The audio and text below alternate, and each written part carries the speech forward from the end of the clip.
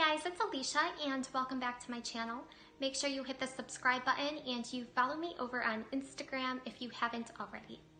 Today I thought it would be a lot of fun to do like a productive work from home day of my life with you guys while also providing you guys with some work from home tips. Let's get started. So for those who don't know, I work as a writer. I write articles for different magazines and different publications.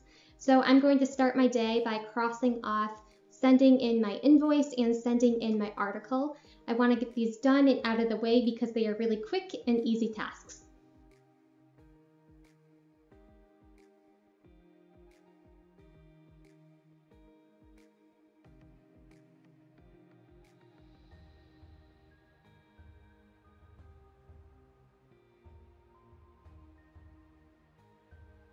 If you guys are curious on how I become published in magazines like Rachael Ray and online publications like Adweek, I'm going to leave a link in the description below on an article that I've actually written on how to pitch and become published in any publication. But also, if you guys would like to see a video on that, let me know in the comments below, and I'd be happy to share that with you too. Now that's finished, I have to go film something for a brand in front of this screen. I always do these on Sundays because they always take me quite a while and a lot goes into them, but they're also a lot of fun. So I am really excited to get started.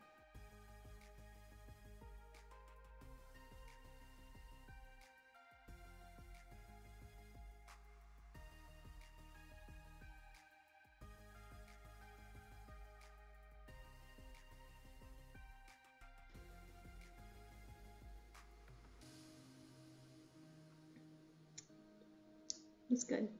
Okay guys, it is currently 1 o'clock and I only have like a few more things that I would like to do today and that is updating my Facebook group, uh, catching up on my emails, that's really important, that's going to be pretty easy though, and sending out some pitches for articles, that's going to take me the longest, as well as I would like to see about getting myself on some more podcasts by the end of the year, so sending out one or two pitches for those as well.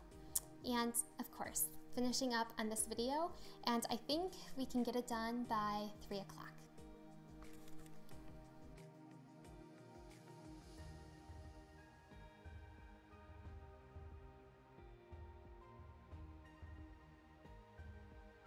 did say that I would be providing you guys with some work from home tips. So I have my journal right here where I have them all written down and let's dive in.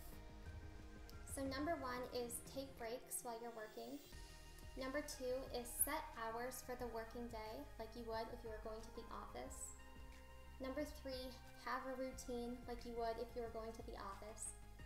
Number four, make sure your work area is quiet. And the last one is reward yourself.